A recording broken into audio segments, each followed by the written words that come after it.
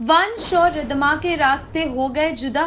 ईशानी की चाल की वजह से वंश के दिल में रिदमा के लिए नफरत इस तरह जगी है कि अब वो जहर बन चुका है। रागिनी के ज़िंदा होने का सच रिदमा जान चुकी है और इस बात का वंश को पता चल चुका है। इसीलिए रिदमा रागिनी तक पहुँच जाए, उससे पहले वंश ने रागिनी को दूसरी जगह शिफ्ट कराया। लेकिन रिदिमा तो वंश से भी स्मार्ट निकली वंश के फ़ोन में लोकेशन ट्रैकिंग की इस तरह सेटिंग की, जिसकी वजह से रिदिमा को अपने फ़ोन से वंश का लोकेशन पता चल गया। और उसी के ज़रिए रिदिमा पहुँच गई रागिनी के पास। रागिनी से रिदिमा ने सच जानने की कोशिश की कि बताओ रागिनी, तुम्हारा ये हश्र किसने किया है?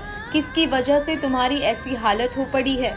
तब रागिनी तो कुछ बोल नहीं पाई, पर रागिनी ने रिदिमा के फ़ोन में जो वंश की फ़ोटो थी उस तरफ़ इशारा किया और फिर से हो गई बेहोश।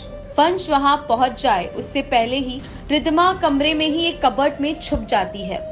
वंश ने रागिनी को तीन साल से अपनी कैद में रखा है।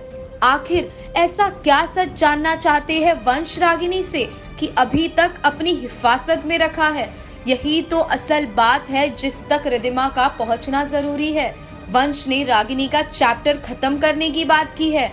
जिससे रिदिमा को लग रहा है कि वंश रागिनी को मार देगा, पर रिदिमा का दिल टूट कर चूर हो चुका है। वंश के क्रिमिनल होने की सच्चाई इस तरह रिदिमा के सामने आई है कि वो पूरी तरह से बिखर चुकी है। इतनी मुश्किल घड़ी का सामना कैसे करेगी रिदिमा कैसे अपने दिल को संभाल कर वंश के खिलाफ ही साजिश रच वंश का असली चेहरा सामने लेकर आएगी रिदिमा जानने के लिए बने रहिए हमारे साथ।